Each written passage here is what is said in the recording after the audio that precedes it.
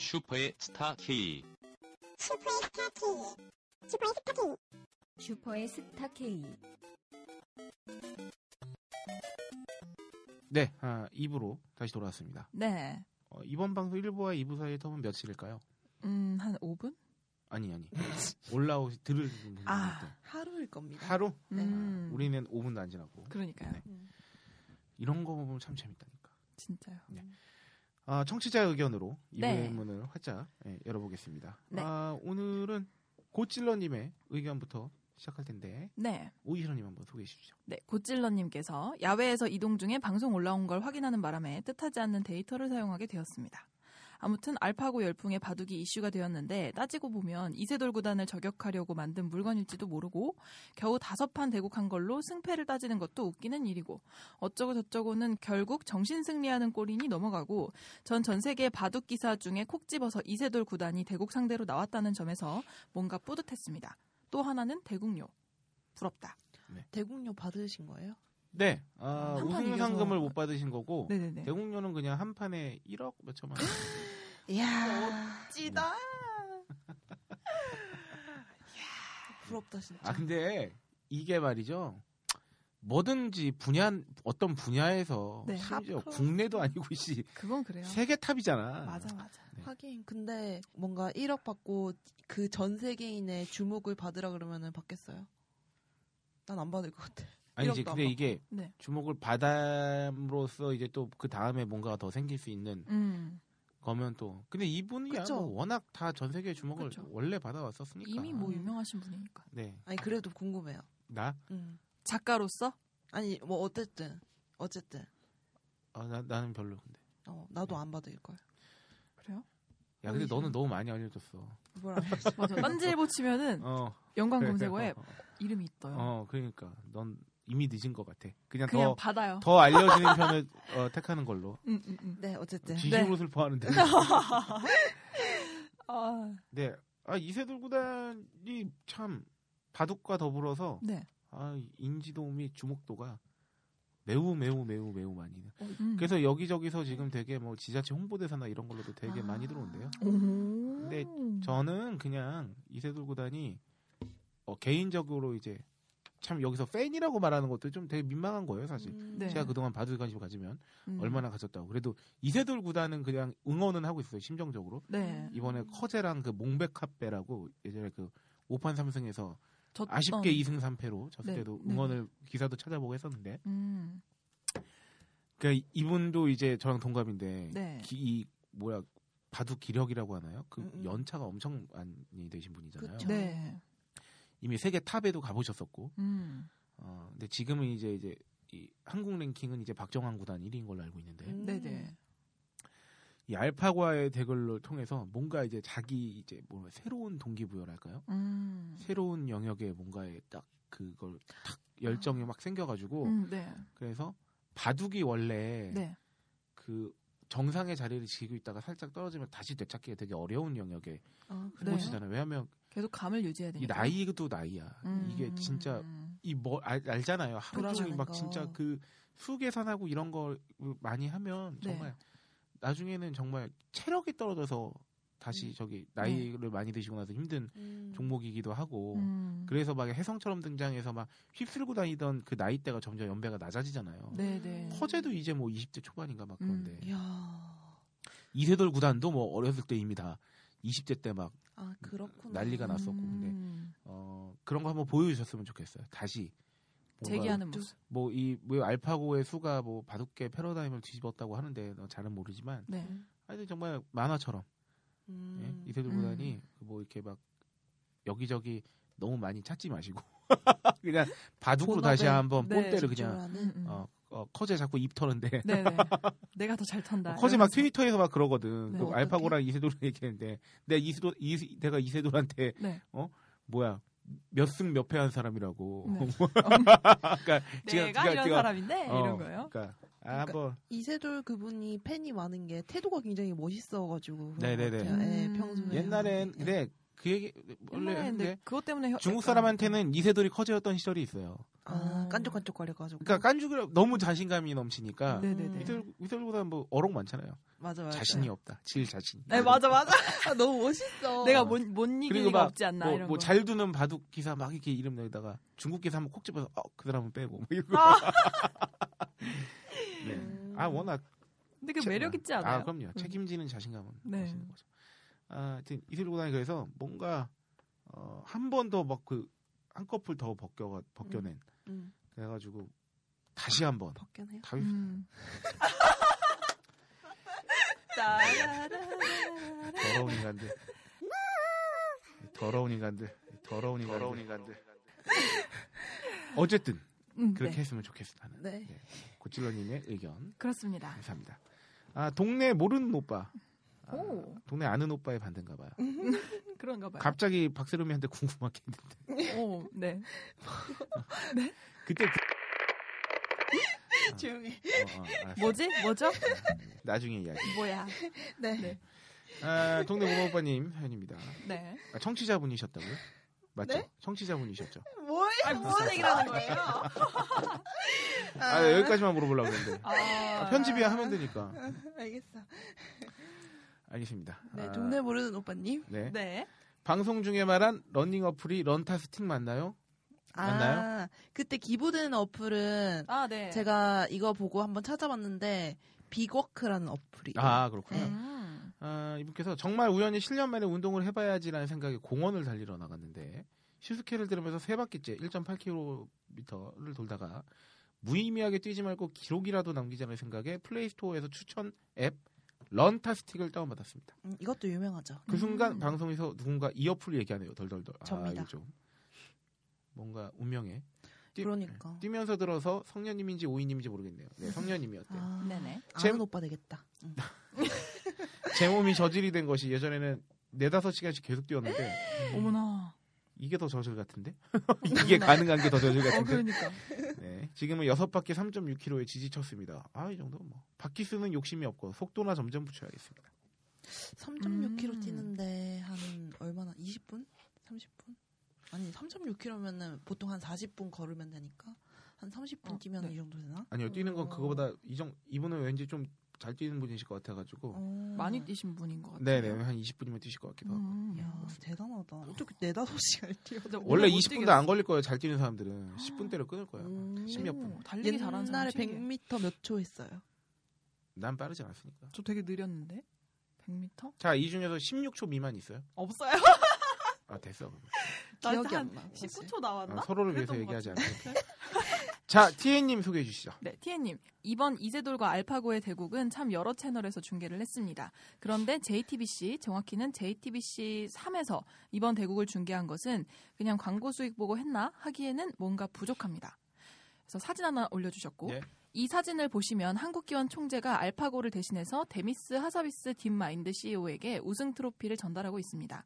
윗 문장이 뭔가 어- 어색하다고 느끼셨다면 정답입니다. 딥마인드 CEO는 이름을 표기했으나 한국기원 총재는 음. 이름을 적지 않았습니다. 아. 이것이 이 글에서 나- 말하고자 하는 요지이기 때문입니다. 네, 한국기원 총재는 유명하신 분이죠. 네네. 한국기원 총재는 홍석현 씨입니다. 어디서 많이 들어보셨죠? 네, 그분 맞습니다. 중앙일보 회장이자 중앙미디어 네트워크 회장 홍석현 씨입니다. 사장님 힘내세요. 네, 주인공이죠. 아, 그래요? 네, 오. 그 홍석현 씨 뭐 조사 받으러 갈 때. 직원들이 이 나처럼. 미친. 아. 네, 물론 홍석현 회장과 JTBC의 바둑 중계 사이에 어떠한 연관성이 있다거나 하는 근거는 찾지 못했습니다. 또 회장 한 명의 취향 혹은 입김에 의해 방송 편성이 좌지우지 되어서도 안 됩니다. 결론 내지 판단은 여러분께 맡기도록 하겠습니다. 뭐 이거는 역자면 엮을 수 있고 안 역자면 안 엮을 수 있는 거라서 네네. 약간 애매하긴 해요. 왜냐면 어, 제가 지금 JTBC에서 이 바둑 1국부터 5국 중에 네. 몇국몇 국을 저기 중계했는지 잘 모르겠는데 이게 1, 2, 3국, 1, 2국 때까지만 해도 그냥 뭐랄까 그냥 중계하는 데서만 하고 네. 이렇게 큰 관심 없는 분위기였다가 그냥 4, 5국쯤 가니까 음. 아 이제 안 거야 방송사들이 음. 아, 이 대한민국의 관심이 여기에 쏠려 있구나. 네. 그래서 마지막 5국은 거의 모든 곳에서 다 중계했어요. 네, 어. 지상파 3, 4에서 다 했고요.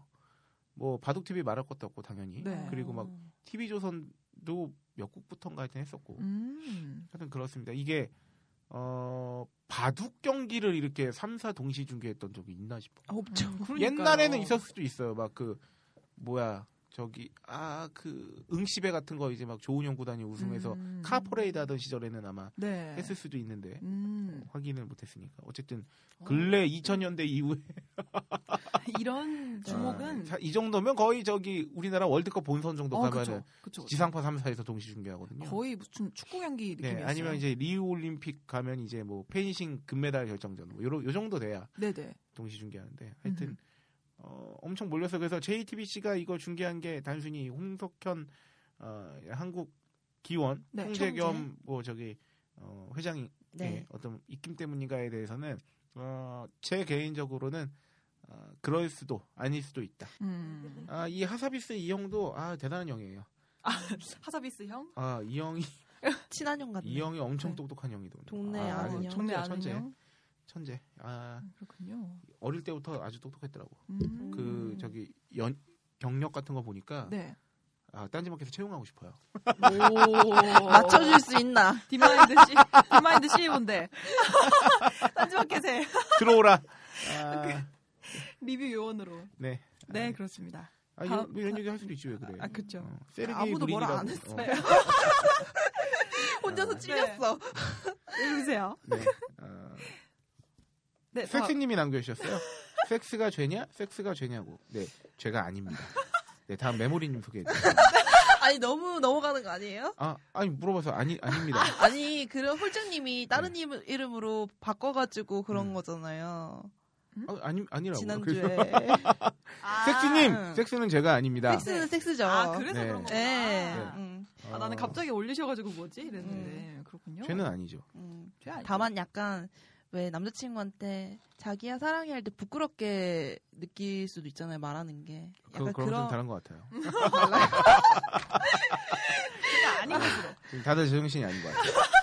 자, 메모리님입니다. 네, 메모리님. 홀장님아 짤순이는 역차별 그런 게 아니고 86년경에 제품이 나오면서부터 그냥 그렇게 이름이 붙었던 거면 오케이 하셨는데 이 다른 분 댓글 다신 거랑 저랑 생각이 좀 비슷한데요. 네. 그러니까 그 이름 붙은 거 자체가 음. 그렇죠. 약간 80년대 중반이고 어, 이 순이라는 걸 붙였다는 것 자체가 음. 뭔가 이 빨래는 여성 친화적인 아, 어, 이름의 장명 자체가. 그렇지 음. 그런 느낌이 있는 거죠. 음, 네. 음. 짤순이. 그렇습니다. 한일에서 나왔더군요. 짤순이. 아 음. 그래요? 그 이제 사진 보여주셨어요. 어, 이글 그렇군요. 들어가 보시면은 네. 그렇습니다. 네네.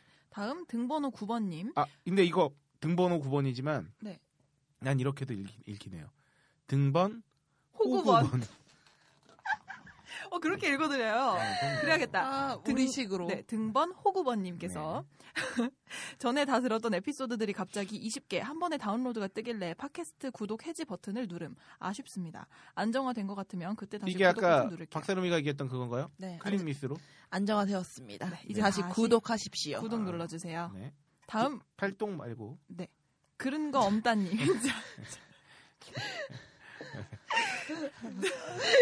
나 사실 네. 무슨 소리 했는지 듣지도 못했는데 그냥 웃고 있어. 아 그래. 구독이라고 해서 팔독. 아, 아나 이런 거 하면 안 되는데. 이런 건 왕따의 지름길인데. 네. 자, 고급 아재 개그를 해야겠어. 아 네. 다음 네. 제가 소개할게요. 네. 그런 거 엄따님께서 소비 간증. 롯데가 의외로 정직한 기업이더란. 지난달 중순께 어머니께서 부록을 넘긴 아들의 생일을 맞이하여 아 부록이 넘으셨군요. 장, 장난감이라도 사라시며 금일봉을 하셨습니다. 야 어머니 대단하시네요. 그러니까요. 부록을 넘긴 아들한테 생일이라고 용돈을 주시는 어머님은 흔치 않은데. 음, 그래서 내심 우왕 금수저신가? 우리 엄마도 닮았으면 좋겠다. 그런 것인가? 어, 그래서 내심 왕 게이득을 외치며 뭘 살까 고민하다가 자유 게시판에서 플로리에용이 올린 레고 테크닉 조립기를 보고 아 저도 이거 봤어요. 어 그런가요? 이거다 싶더군요. 장난 아니에요 이거. 롯데 계열사인 토이저러스몰에서 레고를 하나 질렀습니다. 와 55만 원. 야 헐. 병- 별 생각 없이 응모했습니다. 어, 섹시의 말을 빌자면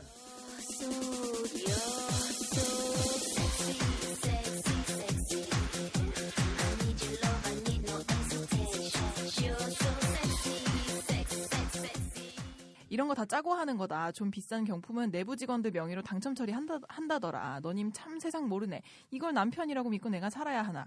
아, 그런 거구나. 그런데 그것이 실제로 아 일어났습니다. 이벤트 경품에 당첨이 되셨어요 이분. 네네. 경품 55만 원짜리. 어머나. 뜨어 약 2.7초 숨이 멎는 듯. 그리하여 엊그제 택배로 경품을 받았고 주말을 맞이하여 두 딸들과 하루 종일 저거 조립하느라 허리가 부서지는 줄 알았습니다. 네. 암튼 롯데는 경품 행사로 장난 따위 치지 않는 의외로 정직한 기업을, 기업임을 확인하였습니다. 앞으로 두 달간은 롯데 욕하지 않겠음.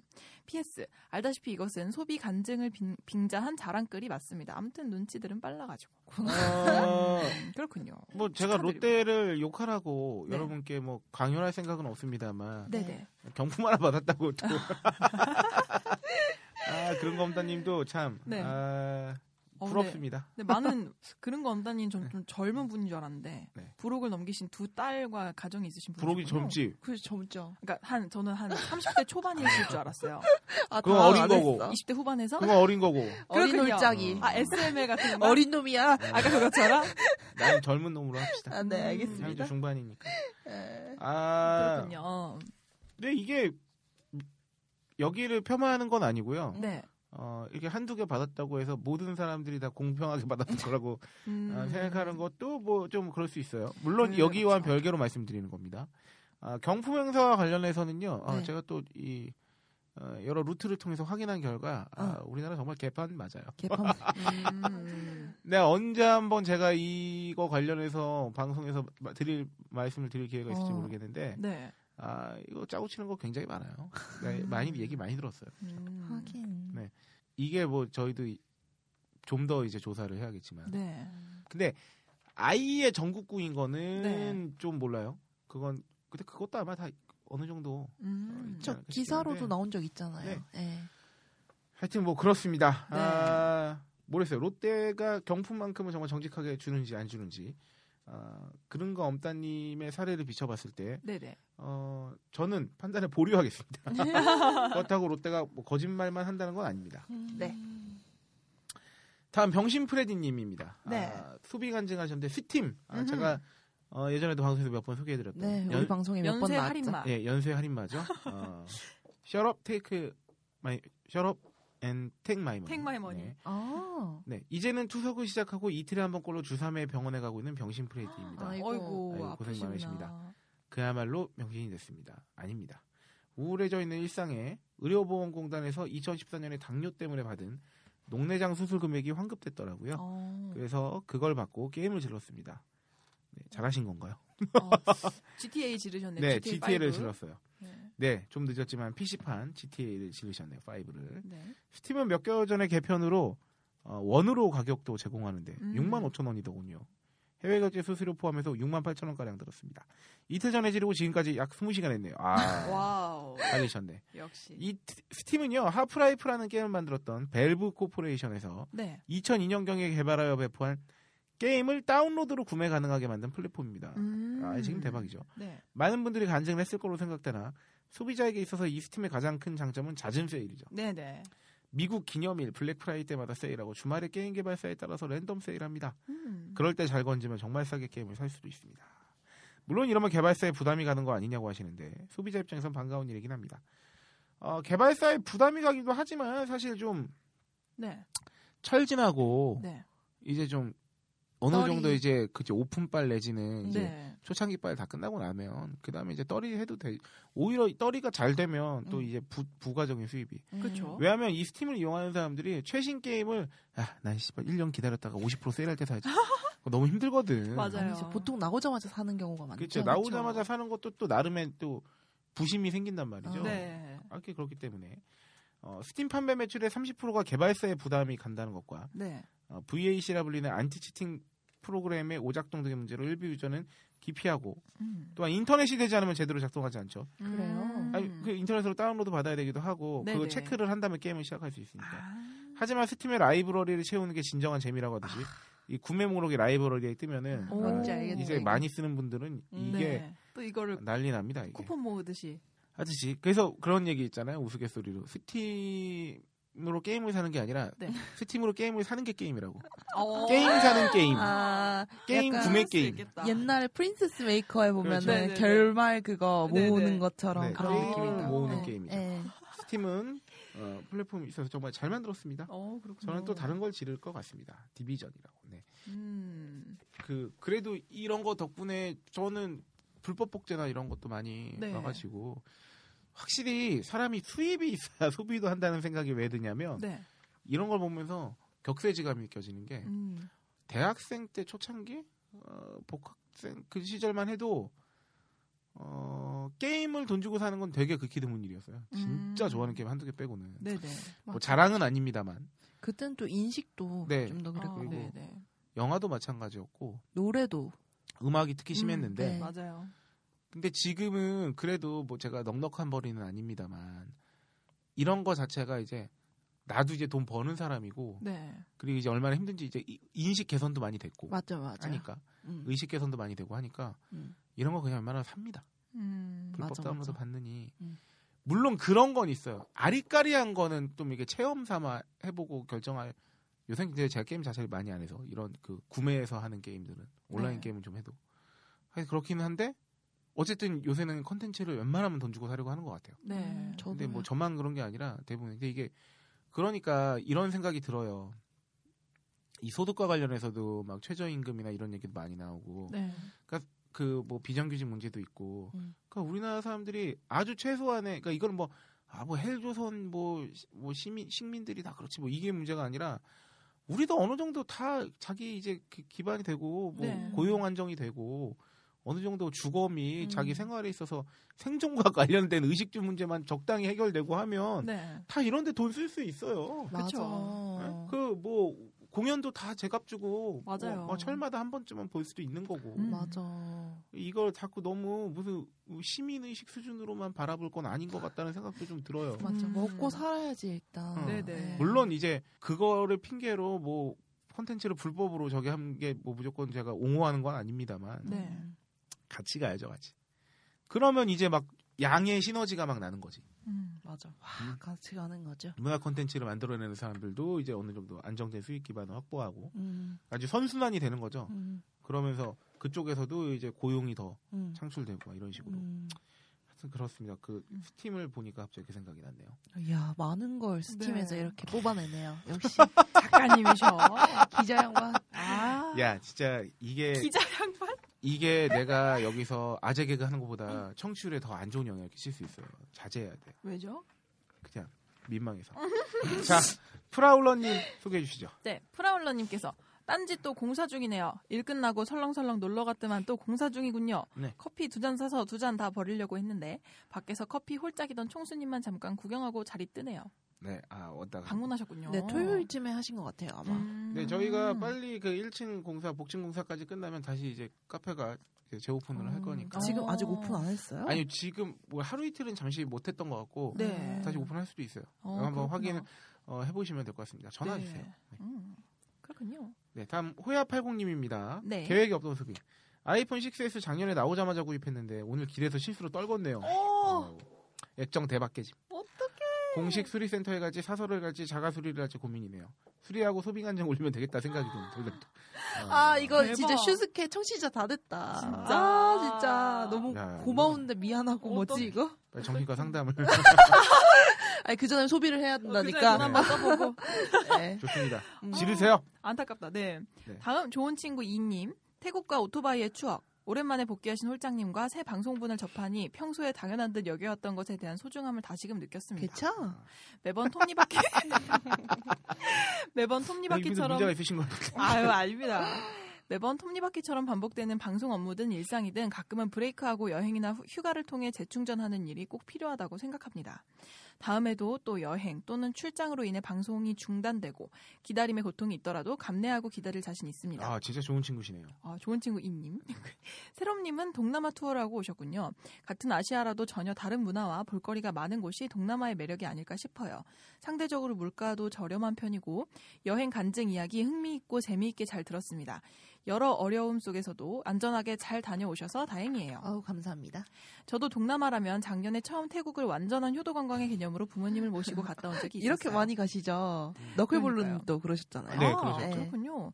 어, 이분은 파타야하고 방콕 3박 5일 가셨는데 어, 일단 부모님 효도 관광이라는 것 때문에 여행 스케줄이나 장소에 제한이 많아서 그렇게 많은 곳을 관광하지는 못해서 아쉬웠는데 성녀님 간증을 들으니 진짜 다시 한번 제대로 가봐야겠다는 생각이 듭니다. 태국은 혼자 가보는 것도 되게 좋을 것 같아요. 네네. 혼자서 뭐 마사지 받고 그럼 네. 좋겠죠. 부모님이 연세도 많으시고 여행 구경 열정이 그렇게 많지 않으셔서 못 보고 못 먹어보고 온 것이 많았거든요.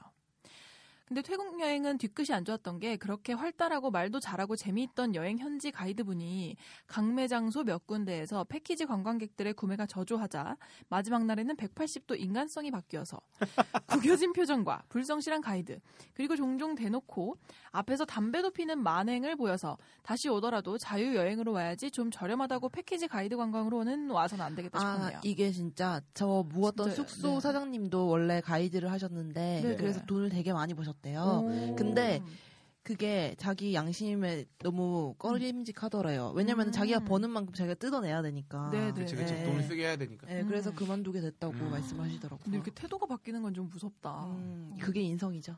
아, 그렇군요. 네, 홍콩 역사 박물관도 얘기가 나와서 말인데 저도 얼마 전에 갔다 왔어요. 오. 두달 전쯤에 홍콩에서 일하는 막내 처제가 홍콩 남자와 홍콩에서 결혼한다기에 오. 초대해서 겸사겸사 갔다 왔었는데 잠깐 짬을 내서 구경 다녀온 곳이 홍콩 역사 박물관과 해변가였거든요. 야, 맞아요. 박물관 규모가 엄청나고 볼거리도 많고 스토리 있게 매우 잘 만들어서 무척 흡족했었던 기억이 나네요. 음. 결국 홍콩의 역사도 거의 침략당한 역사더라고요. 한국처럼. 그렇죠. 덧붙여 태국에는 차가 워낙 비싸고 자동차 세금도 무지막지해서 오토바이가 대중적이라고 하는데 한두 번이야 재미삼아 탈 수도 있지만 오토바이는 진짜 타면 안 돼요. 당연한 얘기지만 너무 아, 위험하고 단호하시네. 언젠가는 꼭 나게 돼 있는 사고 나면 사망 내지 불구가 될 수도 있다고 생각합니다. 2002년대 일이지만 일본에서 야간 근무로 봉고차 불법 나라시 우버 같은 뭐 그런 거라고 하네요. 오토바이 배달, 심부름 허드렛 일을 몇 달 했었는데 비가 억수로 오던 날 가파른 롯봉기 힐즈 내리막길에서 빗길에 자빠져서 10에서 20m를 오토바이랑 같이 신나게 뒹굴었다가 어우. 두 다리가 아작난 적이 있었걸랑요.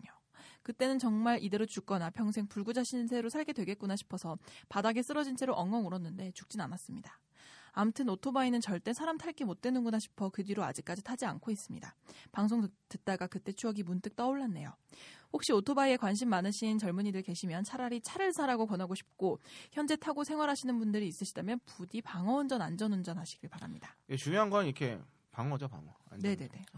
아, 좋은 친구님의 어, 처음에는 저희에게 보내는 편지 같은 걸로 시작했다가 갑자기 네. 어, 오토바이, 오토바이. 안전 홍보대사가 되는데 아, 혹시나 또 이 멘트를 듣고 또 어, 기존에 오토바이 타, 타시던 분들께서 이 멘트를 듣고 아이 뭐 굳이 그렇게까지 말아요 음, 뭐 네. 이러면서 좀 어, 오해하실 수도 있는데 아, 이게 전형적으로 인터넷 댓글이나 이런 걸로 싸움 나는 패턴입니다. 음, 아, 서로의 선의가 있는데 음, 어, 그 한편의 다른 그것만 어, 붙잡으면 또 싸움이 되죠.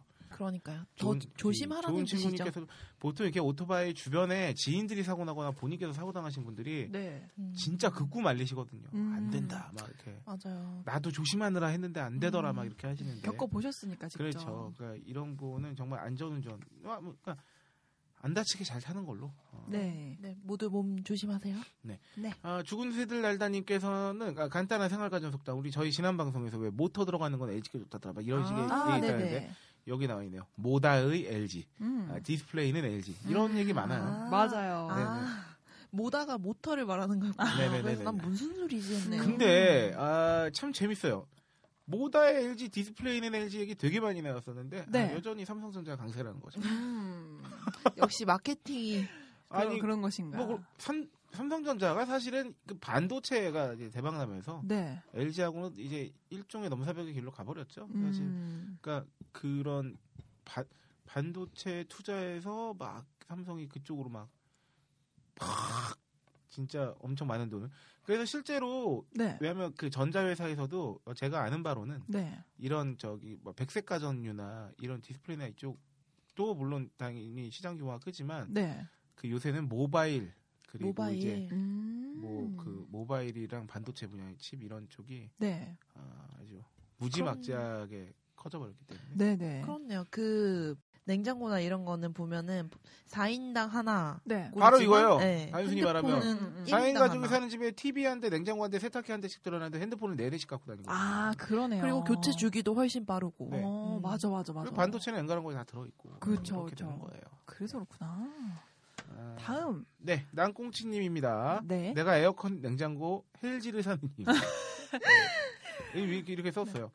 네, 여름철 될 때까지 좀 기다렸다가 제습기나 에어컨을 사려고 했는데 네. 오이 시료양이 네. 못하는 의지라는 말 썰은 하나 풀어봅니다. 네. 대학 과목 중에 냉동기 제작 실습 및 측정이라는 실험이 있었다고 해요. 오. 냉동기는 여기서만 냉동기 냉장고인데 네. 그때 이제 S사 네. 아, 여기는 그냥 이니셜로 할게요. S사 신품 컴프레셔 압축기가 네. 어, 약 14조 오. 그러니까 이야. 14개라고 말한 거였죠. 14개. 그 14개 그 왜 조 말하는 건 이제 네. 돈이 아니고 돈이 아니고 네. 그 저기 뭐야? 뭔가 단위군요. 세트죠, 세트. 음. 예, 14개. 그리고 기존 컴프레셔가 이제 4개 세트로 네. 그 외 부속품은 신품으로 해서 싹 다 배정을 받았지요. 음. 아, 물론 그 분배는 가위바위보라는 공정한 게임으로 당근 제가 속한 조는 이겼고 음. 제일 중요한 부속인 컴프를 S사 신품을 획득한 후 제작을 했는데 네네. 한달 반 뒤에 완성된 냉동 사이클 냉장고와 네. 이제 전기 회로를 결합하여 가동 테스트를 하는데 아, S사 14개 중 10개가 시험 가동 중에 짧게는 30분 길게는 6시간까지 버티다가 싹 다 퍼졌는데. 과- 컴프레셔 과열로 어머나. 아 이거 한두 번 만들어 본 것도 아니고 이러면서 아, 다행히 안 고장난 4개 중한 개가 제가 속한 조였고 그 4개도 데이터 획득 후 싹 다 고장 근데 음. 중고 컴프레셔를 사용한 4개 조는 고장커녕 웃긴 게 냉동 효율 자체가 더 좋은 상황 오. 디테일한 데이터는 보고서 만든 게 있는데 여튼 설정 온도 도달 시간 그리고 냉동 실 내 온도가 아, S사보다 그 중고 일제가 더 뛰어났다는 거 네네. 그래서 S사께 영상 6도에서 10도까지 떨어뜨린다면 중고는 마이너스 25도까지 내려갔다는 거 오. 물론 도달 시간 도달 시간도 말해 못 하겠습니까? 여튼 어, S사가 뭐 10년을 보증하니 어쩌니 해도 그딴 거 안 믿는다. 음. S 다니시는 분은 어, flagship은 flagship은 비슷하니까 믿고 사도 된다는데 어, 10년간 자주 고장 나서 스트레스 받느니 어, 그냥 L사로 보고 음. 하시라는. 아 그리고 홀장님 구형 냉장고 전기 많이 처묵해요. linear comp 들어간 저렴한 양문형으로 바꿔드리세요. 아 부모님 아, 냉장고. 네. 어, 저희도 바꾸고서 전기세 한 2만 원쯤 적게 나왔다고. 오. 야, 엄청난데요? 저희 집 전기세가 5천 원 나왔어요. 어, 역시 자취. 네. 음 그렇군요. 모다 돌리는 게 좀 전기 많이 먹죠. 기본적으로. 네. 그, 리고 냉장고는 뭐 거의 하루 종일 돌아가야 되니까. 음흠.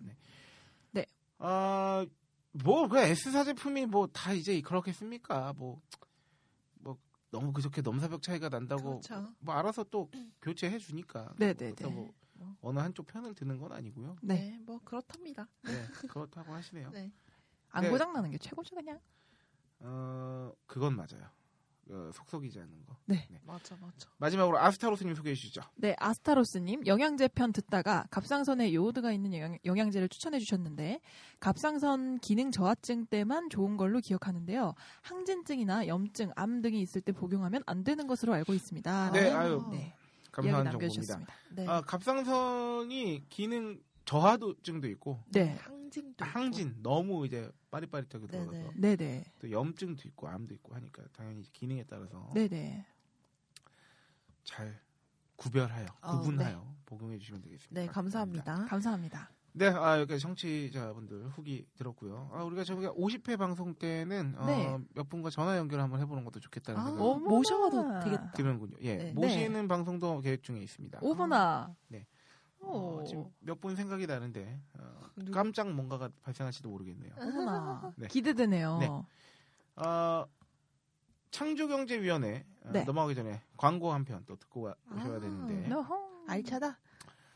저희가 어, 파인프라 광고를 하고 있었잖아요. 네네. 파인프라 제우메디컬의 파인프라 어, 치약과 네. 어, 파인프라 샴푸가 있죠. 어허. 그리고 음. 파인프라 비누도 있어 파나세아. 오, 네네네네. 맞아. 네네. 파인, 어, 파인프라 제품군 비싸지만 가성비가 뛰어난 네. 이 이율 배반적인 목표를 획득하고 있는 특히 치약 네네네. 저 진짜로 느낀 게 치약이 제가 여행을 갔잖아요. 네. 그래서 거기서 홍콩이나 뭐 그쪽에 파는 치약 중에 유명한 게 있어요. 달리 치약이라고. 네네. 음. 근데 그게 저도 그래가지고 파인프라를 안 들고 가, 아 들고 갔는데 도중에 잃어버렸어요. 치약 칫솔 세트를. 네네. 그래가지고 잃어버린 김에 달리 치약이나 사보자 쓰, 쓰보자 음. 싶어가지고 음. 사서 썼어요. 딱 쓰니까 확실히 진짜 뭔가 더 청결한 느낌이 드는 거예요. 음. 화 하고. 음, 네. 근데 다섯 시간이 지나봤어요. 네.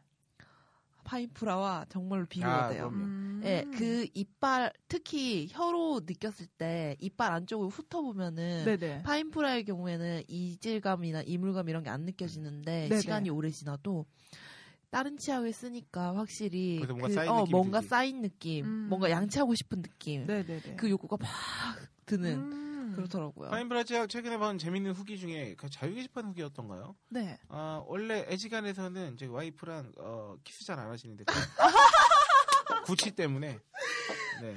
치약 바꾸고 나서 어머나. 전혀 이질감이 없다고. 누구의 구취? 굉장히 서로의. 어머. 네. 아, 그럴 수 있거든요. 어, 진짜 와, 너무 빵 터진다. 와, 진짜 파워풀하다 후기가. 네. 그렇죠. 어, 치약 치약을 바꿨는데 부부간의 사랑이 다시 싹쓸 수 있다. 야 이거 아, 정말로 진짜 너무 재밌다. 우리 나라에서 막 미팅이나 이런 거 요새 불편하잖아요. 이런 거 하지 말고 파인프라 치약 나눠줘. 그러니까. 아, 아 근데 저도 파인프라 그 여행용 그거를 최근에 사용을 그러니까 쭉 쓰다가 저희 집에 이사를 했잖아요. 그래서 짐을 다 싸가지고 치약을 못 찾겠는 거예요. 음. 그래서 그냥 그 시중에서 판매하는 싼 치약 음. 하나를 사가지고 한 이틀 동안 그냥 가족들이 그걸 썼는데 잇몸이 뭔가 그런 거 있죠. 약간 시리고 그게 뭐냐면 그런 느낌. 그런 거야. 아, 잇몸도 이제 길들여졌거든. 좋은 거야. 네네네네. 그러니까 다른. 거 쓰면은 아씨 뭐야? 아, 그리고- 잇몸이 네. 잇몸이 썩내는 거지. 네네. 그리고 제가 원래 약간 이를 좀 자면서 앙 다무는 버릇이 있어요. 음. 그래서 이가 좀 이렇게 찬물로 양치를 하면 좀 시리고 그랬는데 파인프라 사용하면서는 좀 그게 덜 했었고 아 정말. 그 이틀 동안 잠깐 다른 치약 뭐 그 소금 들어간 치약 그런 거 있잖아요. 그런 걸 사용했을 때는 예전에 그 시린 감각이 다시 좀 느껴져가지고 음. 그짐 찾아서 다시 파인프라를 오늘 아침에 양치를 했는데 확실히 좀 편안한 게 있었던 것 파인프라 같아요. 치약은 네. 진짜 뭐한 20만 원치씩 대량 구매하시는 분들도 있더라고. 네네네. 야. 쟁여놓고 쓰신다. 아니, 못 돌아가 못 돌아가. 진짜로 한 그런 번 게. 있잖아요. 네네. 너무 자기가 만족스럽고 좋은 상품이 있으면은 음. 주변 사람들한테 꼭 이거 좀 제발 써. 맞아, 맞아. 이러고 싶은. 음. 진짜 바보야! 이거는, 이거는 진짜 이걸 그런 쓰라고. 이러면서. 어, 어. 예. 너. 머리 빠질 거야? 비크리 쓰라고 이러면서 쓰라고 좀. 이러면서. 열띤 홍보만. 그러니까 파인프라도 좀 쓰시고요. 네네네. 광고 듣고 창조경제위원회로 돌아오겠습니다. 네. 당신에게 파인프라는 어떤 치약인가요? 단순히 비싼 치약인가요? 아니면 좋다고 듣기만 했지 구매는 망설여지는 치약인가요? 구강 관리의 혁신, 잇몸 질환과 구취에서 자유로운 프리미엄 기능성 치약 파인프라. 파인프라 치약으로 당신의 치아와 잇몸에 하루 세 번 건강을 선물하세요. 딴지마켓에 오셔서 딴지마켓 구매 후기로 증명된 파인프라 치약과 파나세아 샴푸, 비누를 통해 당신의 몸에 건강과 아름다움을 더하세요. 이거 인공지능 좀 인공지능처럼 읽어볼까요? 어, 아 좋은 좋죠. 생각입니다. 아 요새 또 네. 잠시 쉬느라고 또 권수의 목소리 이용하는 걸 까먹고 그러니까 우리 오이시러 양께서 더 음. 지금 네. 어, 훌륭한 목소리를 갈고 닦고 그렇지. 있잖아요. 네. 창조경제위원회 인공지능 자 네. 여기서 어, 지하철 목소리 제자 목소리 다시 차이점이 해볼까요? 뭔지 한번 어. 봅시다. 창조경제위원회 인공지능 인공지능은 인간의 학습 능력과 추론 능력, 지각 능력, 자연 언어의 이해 능력 등을 컴퓨터 프로그램으로 실현한 기술입니다. 달라요? 어떤 점이 다르게 이렇게 읽은 건가요? 어, 방금 전엔 좀 두껍게 무겁게 아. 읽었고 요건 조금 약간 발랄하게 했는데 음, 약간 부드러움이 있긴 하네요. 아니면은 뭔가 캐릭터를 해볼까요? 약간 오바가 필요해. 인공지능 이렇게요? 아니 아니 그그 오바 말고 어, 그거 해봐요. 시리처럼 이렇게 딱 눌러서 인, 아, 이렇게, 이런, 이런 느낌 원하시는 건가? 인간의 학습 능력과 추론 능력, 지각 능력, 자연 언어의 이해 능력 등을 컴퓨터 프로그램으로 아니, 실현한 뭔가 기술. 더 딱딱한 느낌. 아 맞아 맞아. 그렇게 삐리삐리. 딱딱딱딱. 인간의 학습 능력. 인공지능, 인간의 학습 능력과 추론 능력, 지각 능력, 아. 자연 언어의 이해 능력 등을 컴퓨터 프로그램으로 실현한 기술. 이렇게요? 아, 어 약간 좋다. 좋다. 요걸로 어. 갈게요. 네.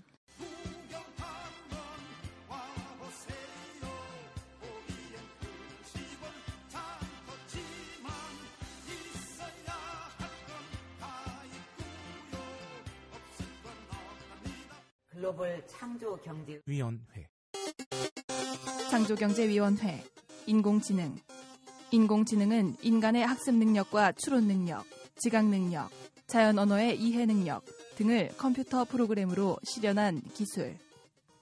네. 청경제위원회 인공지능. 네. 아, 아, 우리 오이시러가 인공지능처럼 읽어줬어요. 약간 이 목소리가 네. 뜬게 옛날에 그거 있잖아요. 네. 아, 그쵸. 남녀 형돈이는 오늘도 밥을. 먹어요. 어, 네. 맞아 맞아. 그렇습니다. 생각나네요.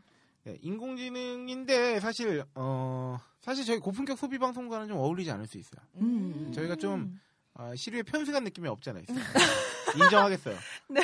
얻어 걸리고 싶었어요. 네네. 아, 뭐냐면 우리가 당장 뭐 인공지능을 소비하거나 음. 뭐 그러 우리가 직접 뭐, 뭐- 뭘 사는 데 있어서 네. 아, 이제 아주 뚜렷한 접점이 있는 건 아닙니다만 음. 아, 우리 먹고 사는 일과 연관이 돼 있다 보니까 먹고 사니즘. 한번 다뤄보도록 어, 네. 하겠습니다. 아, 자꾸 지금 인공지능 아까 그 성대모사에서 그런데 네. 내가 요새 성대모사 잘할 수 있을 것 같은 사람 하나 나왔어. 어 누구죠? 아, 제가 도울 선생님. 어 한번 해봐요. 어 들려주. 전인 전인 아, 건 죄송합니다. 이거 내가 잘못한 거. 알고 있어. 잘못한 거 내가 알고 있고 연습이 더 필요하다. 아 너무 웃긴다. 조금만 더. 좀만 더 하면 락커 되겠는데. 미치지 않았냐 이게. 오 약간 이거, 이거 똑같네요. 이거 닮았다. 아 다들 뭔가 성대모사를 네. 뭐 도사가 되겠어. 저 원래 성대모사 사실 음, 대학교 네. 때부터 밀던 말, 아주 어이없는 성대모사 있는데 뭐죠? 한 글자 세 글자 다섯 글자 성대모사.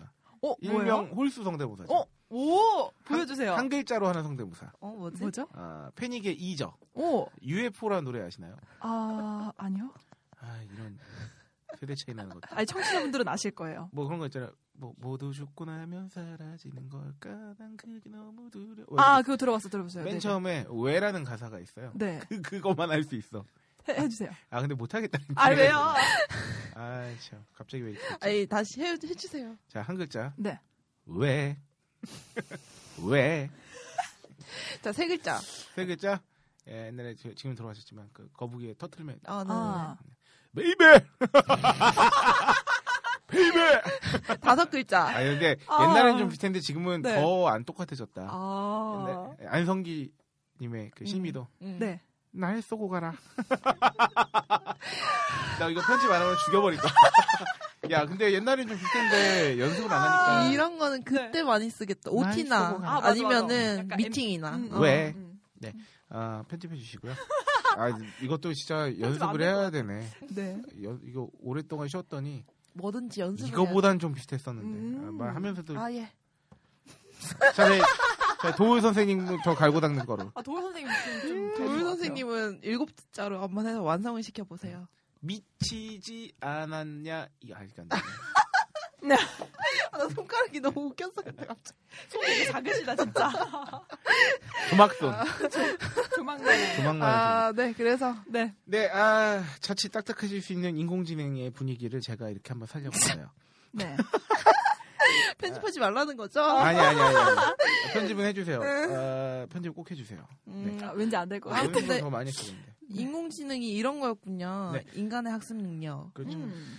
이게 사실 인공지능과 AI가 그 동일어로 쓰고 있는데 네. 그 아티피셜 인텔리전스가 아주 음. 인공지능하고 아주 정확하게 맞아떨어지는 건 사실 아닌 것 같아요. 음. 뭐 하긴 한데. 하여튼 어, 생각보다 이제 큰 차이로 이세도 구단이 패배했습니다. 네. 그렇습니다. 근데 이제 뭐 알파고를 개발한 구글이 뭐 스카이넷이 아니냐 이제 나중에 음. 어 그래서 뭐 음. 터미네이터가 제일 많이 회자됐잖아요. 그쵸, 그쵸. 이제, 네네네. 이제 인류가 지배당할 거다 네. 이러면서. 근데 사실은 어 이미 많은 이제 전문가들이 그동안 얘기를 이제 그 대국후에 해- 해서 여러분도 아시겠지만 네. 사실 알파고의 핵심은 사실은 그 deep learning이긴 해요. 그러니까 이제 음. 학습을 한다는 건데. deep learning. 예, 음. deep learning인데 그러니까 이제 단순히 계산만 하는 계산기 같은 건 아니고 사실은 네. 이제 여기에 이제 학습 기능을 이제 자, 자체로 아, 이제? 한다는 격의가 있는데 음. 문제는 이제 그렇다고 해서 이제 터미네이터에 나오는 스카이넷이나 이런 것처럼 인간을 지배할 정도의 것과 아주 지금은 지금은 아직은. 그쵸. 음. 아직은. 그러니까 수준의 차이라기 또 그것도 아니고 이제 괴가 다르는 거 아예. 아, 그래요? 아, 어, 그런가요? 뭐 스카이넷은 이제 스스로 이제 판단을 완전히 다 음. 해가지고 네. 그 자체로 이제 뭔가 뭐라고 말해야 되나요? 이거는 아, 그 아이언맨에 나오는 자비스 같은. 그러니까 뭐 그런 그, 거죠. 런게 돼야 되는 건데 지금은 이제 아주 어, 아직은 연산에 더 초점이 맞춰져 있다고 해야 되나요? deep learning이 음. 가능하지만 뭐 하여튼 차차 알아보는데 네네. 터미네이터에서 스카이넷이 인간을 공격하는 게 그거잖아요. 이제 네.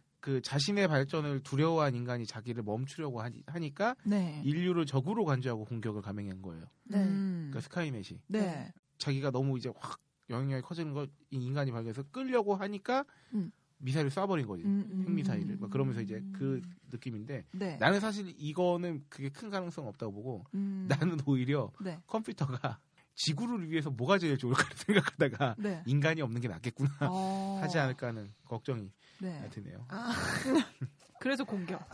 지구를 말살. 위해서 인간을 말살하는 아. 말살. 지를 공격할 것 같아서 그런 게 아니라. 음. 네, 아니 뭐 웃기네. 이거는 개인적인. 공약 분야에서 말하는 인공지능의 형태는 결국 문제를 푸는 기능이에요. 음, 네네. 사람이 하는 대부분의 결정, 음. 어떤 옷을 입을지, 어떤 말을 할지 이런 거를 일종의 문제 해결 과- 과정이라고 할 수 있는데 네네. 그래서 사람을 따라하는 로봇을 인공지능이라고 부르는 거예요. 네. 인간처럼 자체적으로 판단을, 문제를 해결하는. 음. 그래서 인공지능은 기술적 변화를 통해서 단순 문제풀이에서 지능의 실체적 구현을 목표로 발전되고 있다고 해요. 음. 요새 인공지능에서 가장 많이 나온 게 이 개념이죠. 아, 제가 아까 그 개념을 말씀드리려고 했었던 건데 네. 지식이 뭔가요? 짧아서 약인공지능과 강인공지능이 어. 있어요. 아, 약한과 그러니까 강한. 왜 그래서 weak AI하고 strong AI가 있는데 네네. 약인공지능은 특정 영역의 문제를 푸는 기술이에요. 그래서 음. 이 알파고가 아마 여기에 해당된다고 볼수 아, 있을 그래요? 거예요. 음. 그래서 단어를 입력하면 검색 결과를 보여라. 네네. 음성을 듣고 무슨 말인지 인식해라 같은 문제를 푸는 거. 이거는 음. 그냥 우리가 핸드폰으로도 할 수 있는 거네요. 네네. 네. 네네. 근데 강, 강한 AI는 어, 문제 영역을 좁혀주지 않아도 어떤 문제 든 해결할 수 있는 기술 수준. 그래서 음. 강한 AI는 터미네이터의 스카이넷이나 어벤져스 2의 울트론처럼 네네. 영화에서 볼 수 있는 로봇들. 현재 단계에서는 약한 AI가 많이 쓰이고 있는 거죠. 그러니까 음. 강한 AI를 만들려면 아직도 멀었다는 게 과학계 중론이고요. 네. 약한 AI, 그러니까 알파고도 이 바둑의 영역에서 네네. 이, 이 룰을 알려주고 이 안에서 네가 이길 수 있는 수를 음. 스스로 학습해서 찾아라. 네. 음. 라는 게 아직은 이게 weak 네. AI의 아. 수준인 거죠. 그렇구나. 그래서 약한 AI 대표 사례가 이제 스팸 메일 필터링. 네. 그러니까 아주 단순 노동이라고 말하면 좀 뭐하고 아주 단순한 그 판단들, 네네. 기계 번역, 뭐 네. 구글 포토 서비스 같은 뭐 이런 거 있고 음. 알파고도 약한 AI의 사례다. 그래서 네. 나오는 거예요. 알파고가 인간이 둘 수 없는 창의적인 수를 둔다며 사람들이 경악하고 있지만 네. 알파고는 사실 확률 계산을 하는 거거든요. 음, 그쵸, 그쵸. 그러니까 어쨌든 바둑판 내에서 그 여러 가지 경우의 수를 자기가 미리 더 보거나 하고서 그러니까 가장 승률이 높은 네. 경우의 수로 두는 거죠. 알파고는 이길 수 있는 확률이 높은지 낮은지 여부만 연산해서 착수를 결정하는 거예요. 음. 인공지능이 스카이넷으로 발전할까 우려하기는 아직 이릅니다. 그래서 네네. 오히려 인공지능의 발전과 이로 인해 대세된 대체되는 일자리 네. 그리고 줄어드는 일자리가 초래하는 사회 경제적 위협이 더욱더 현실적 그렇죠. 위협거리다라고 아. 지난 방송에서도 말씀드렸었잖아요. 그쵸. 그러니까 이게 이게 당장 뭐 터미네이터처럼 그 컴퓨터가 우리를 말살하는 거 아니야 하기에는 네. 내가 볼 때 어, 인간이 우리 스스로를 말살할 경우가 훨씬 높아요. 아직. 음. 아. 네, 우리끼리 우리끼리 싸움박질하고 이렇게 네. 서로 혐오하고 이러다가 어, 서로를 위협할 가능성이 음. 아직은 훨씬 더 높다고 봐야 될 것 같고 네. 대체되는 직업이 장난 아닌 게 저번에도 말씀드렸지만 미국은 114 서비스가 이미 컴퓨터로 다 대체됐다고 네. 했던 것처럼 어, 여기서, 여기에 네. 표가 있어요. 영국에서 일자리를 위협받는 직종 15개가 네. 있네요. 보시면 15위가 도서관 사서 그렇죠. 그 위험성이 96.7%, 14위 지역 공무원 96.8%, 13위가 NGO 사무직 96.8%. 어, 보면 15위에서 아까 그 저기 오이시라가 도서관 사서부터 NGO 사무직까지 어, 네네. 소개해 주셨는데 네. 어, 지금 대체적으로 딱 보니까 위험성은 96.7%에서 99%까지니까 네네. 이 정도 확률이면 거의 어, 너는 이제 이 분야는 이제 다 좆될 가능성 아, 매우 높음. 음. 네네. 이제 네. 종사자 비슷하다. 수를 보니까 이게 영국 기준인데 네네. 어쨌든 다 만 단위 이상이에요. 그래서 다 음. 합치면 15위부터 1위까지 하면 150만 명 되는데 네. 여기서 눈에 띄는 직업 뭐 있나요? 오이시라가 보기에? 음, 1위 텔레마케터가 가장 눈에 띄네요. 네네. 뭐 텔레마케터 114 말씀도 드렸었는데 네네. 텔레마케터 이제 뭐 목소리만 좀 더 친근하게 바꿀 수 있으면 네. 사실은 왜냐면 이거 정말 단순 반복이잖아요. 그쵸. 그냥 불특정 다수나 혹은 그 정해져 있는 다수한테 전화해가지고 똑같은 프로모션을 하는 거기 때문에 네. 사실 이 경우에는 목소리만 너무 기계음스러워가지고 사람들이 끊게 만들지만 않으면 음. 뭐다 바뀔 수 있다고. 저희가 뭐 여기서 대부분 비슷해요. 네. 이게 전체적으로 물론 막 은행원, 보험사, 회계사, 회계관리자, 판매원 뭐 이런 거 분류원부 격리 이렇게 말하는 직종이 되게 다양한 것 같은데 어느 정도 여기서 카테고리 분류를 좀 해보자면 네. 계산이 필요하거나 음. 그 이제 계산이나 이런 것들이 정리가 많이 필요한 직종이거나 네. 아니면은 이 단순 안내 같은 걸 해야 되는 직종. 음. 거의 지금 이 분류가 되는 것 같거든요. 네. 법률 비서도 마찬가지고 이 경우에는 사실 컴퓨터가 그리고 그 왜 간단한 날씨 기사나 증권 관련 기사는 컴퓨터가 쓰고 있다는 음, 얘기 맞아요. 나왔잖아요 보도에. 네. 음. 근데 실제로 외국의 영국이었나 어느 나라에는 어떤 미디어 자체가 다 음. 어 정말요? 컴퓨터가 이제 기사를 쓴 거 써서 내보내는 걸로만 채워지는 곳도 있다고 해요. 어, 여기 나온 직업들이 보니까 네. 일정 단어를 이렇게 손님들이 말을 하면은 카테고리화가 딱딱딱 그쵸, 그쵸. 어, 네네네. 그런 직업들이네. 전문 용어가 들어가거나 네. 네. 아니면 이제 수식 계산이 필요하거나 음, 뭐 이런 음. 것들. 음 그렇군요. 그래서 인공지능에 의해서 어, 위태로워질 만한 전문직 일자리가 뭐가 있을까? 음. 아까 방금 말씀드렸던 기자들, 네네. 의료 분야는 어떤지 한번 소개해 주시죠. 네, 의료 분야에서는 어, 환자의 의료 정보만 정확하게 입력되면 자동으로 처방전까지 제시하는 알고리즘이 깊숙이 이미 파고든 상태라고 합니다. 네. 아직 진단의학 분야에만 국한되어 있진 하지만 웬만한 동네 의원 수준의 진료는 충분히 대체할 수 있는 수준까지 도달했다는 평가가 나온다고. 네. 그래서 의사의 청진기가 알고리즘으로 대체되는 시대가 이야. 도래할지 모른다고 합니다. 맞아. 병원에 가면은 진짜로 네. 내가 이거 병원에 왔는데 그쵸? 5분 만에 진료가 끝나는 경우가 3초 되게 많잖아요. 예. 네네. 그래서 일례로 IBM의 슈퍼컴퓨터인 왓슨을 보면 어, 이미 인간과의 체스 경기, 퀴즈 경기에서 빼어난 능력을 발휘했던 IBM의 슈퍼컴퓨터 왓슨이 현재 세계적인 암 전문 병원 MD 앤더슨 센터에서 암 진단을 위한 실습 과정을 밟고 있대요. 학생처럼. 진단의학 같은 어, 경우는 네. 컴퓨터가 적용되기 되게 쉬운 분야겠죠. 아무래도 몇 가지의 어떤 뭐랄까요 근거를 근거와 데이터를 바탕으로 네. 그것도 어쨌든 확률도 계산해야 되고 음. 그러니까 이런 뭐 예를 들어서 검사 결과를 놓고 네네. 보거나 하다못해 뭐 청진 네. 혹은 문진을 통해서 음. 뭐 이런 이런 증상을 호소했다거나 데이터가 나온 환자들의 경우에 뭐 몇 퍼센트 확률로 어떤 질환일 확률이 가장 높았고 음. 이런 쪽에는 뭐 가능하겠죠? 음. 이게 되게 애매한 게 아다르고 어다르고 한 거기도 한데 네.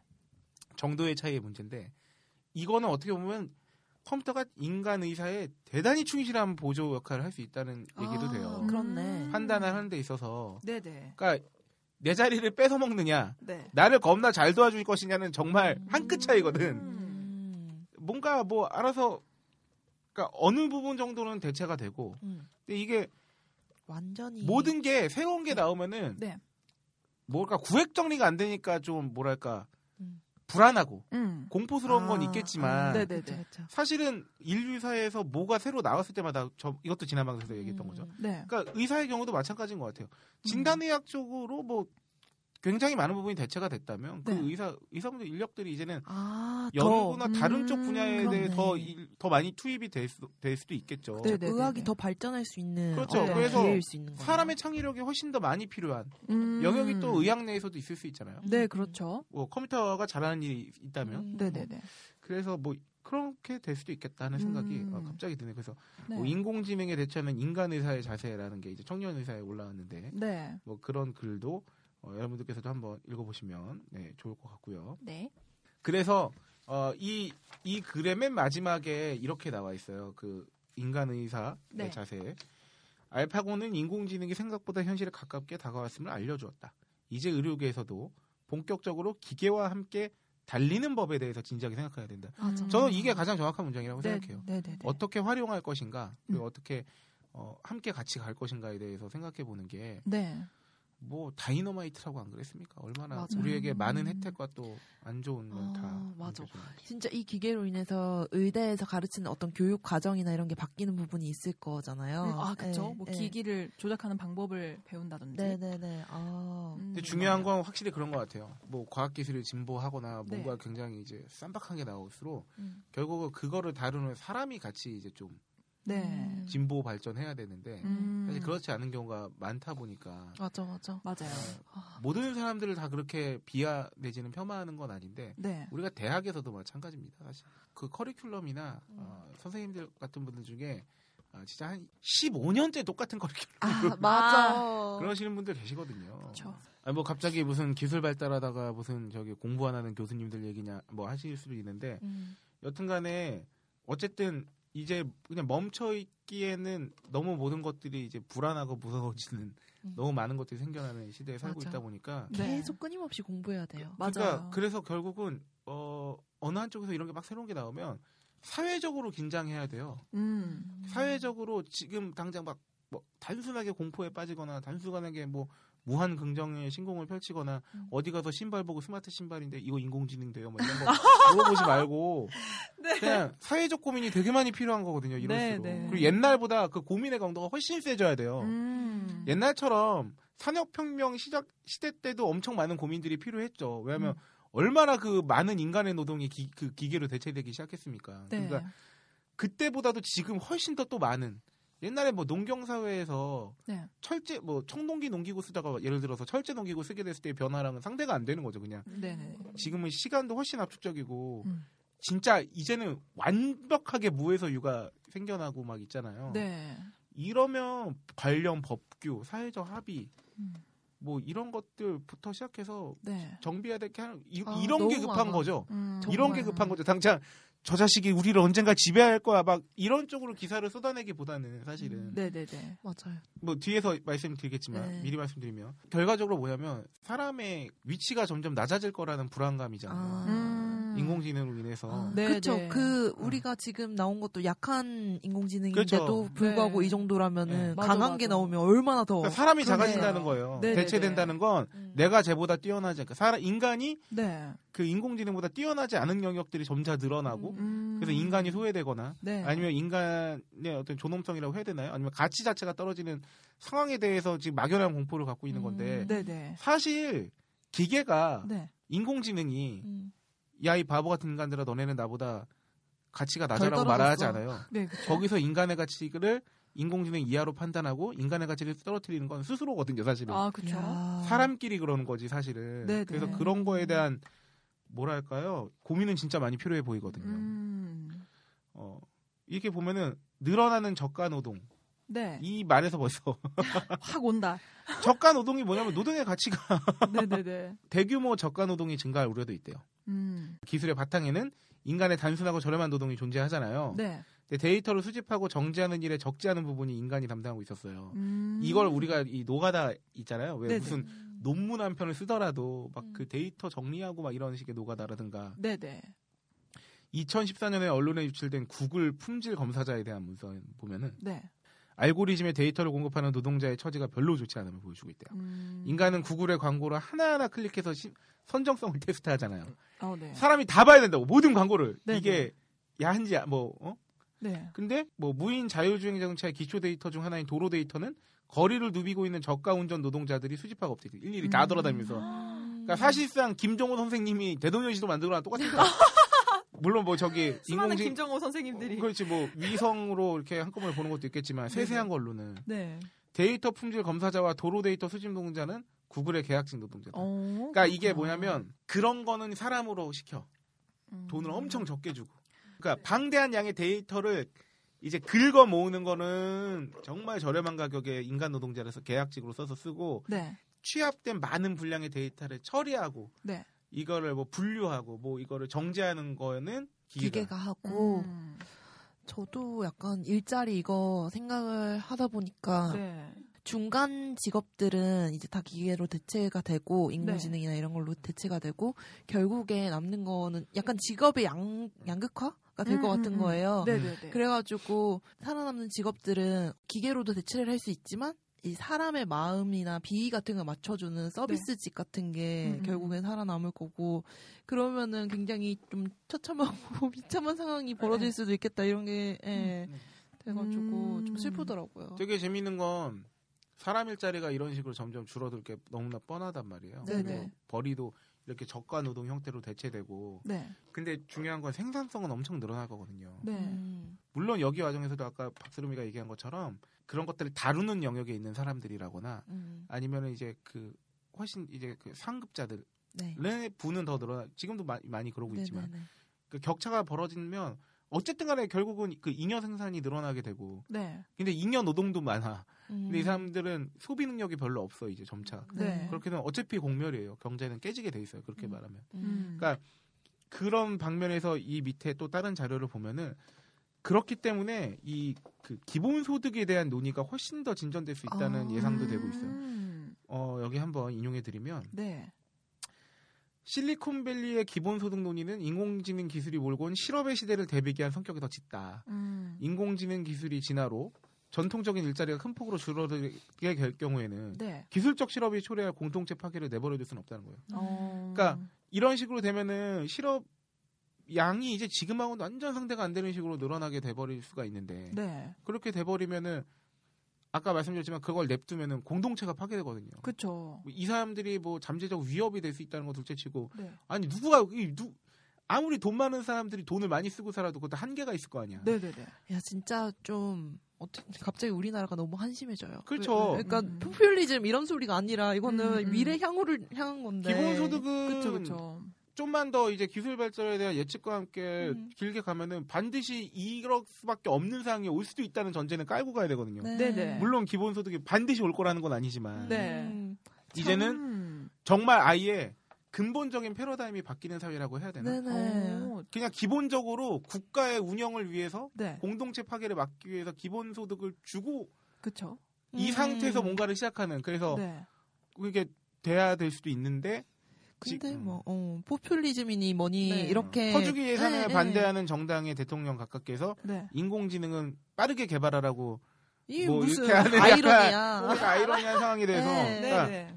그 기준과 그 기준이 있어야 되고 철학이 있어야 되는데 네. 네. 정책이나 네, 이런 거에도 어, 그냥 딱 봐서 그러니까 그 입체적으로 보는 게 아니라 굉장히 그러니까 예를 들면 이런. 거야. 어, 어. 연결을 못 시키는 그렇지 그런 거지. 음, 네. 들면서 네. 어, 오늘은 박세롬이가 너무 좋은데 네. 내일은 뭐 나는 오이시러가 또 너무 좋은데 아, 네. 막 헛소리. 엉망진창이야. 하여튼, 어. 기준이 없어. 말. 맞아요. 하여튼 뭐 음. 그렇습니다. 그렇군요.